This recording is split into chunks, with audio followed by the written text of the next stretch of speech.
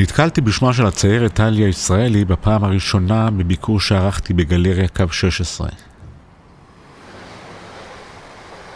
הגלריה ממוקמת במתנ"ס עירוני מוקף שיכוני רכבת. ניכר בה היטב הניסיון לשלב בין הקהילתי הפריפריאלי לבין העכשווי העדכני. מבין המוצגים השונים משך את תשומת ליבי ציור ענק שכמו התאים את עצמו לסביבה. מחשבות על שיגור ופיח.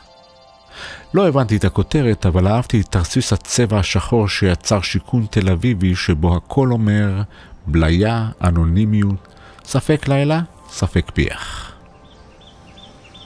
שוב ושוב חוזרת ישראלי אל תל אביב כי אומרת, זאת העיר שלי, זה הפיח שלי. הרחובות האלה והגנים האלה הם חומר הגלם שלי.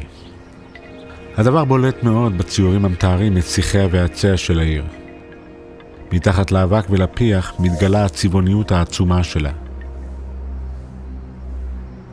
שבועיים אחר כך חיכתה לי פגישה נוספת עם ישראלי. על בניין נטוש ברחוב המרד 34 זהרו מולי חמישה ציורי קיר ענקיים. הסיפור התל אביבי שלה נשמע לי מוכר. לבוא למקום חדש מתוך השלמה, מתוך פיוס.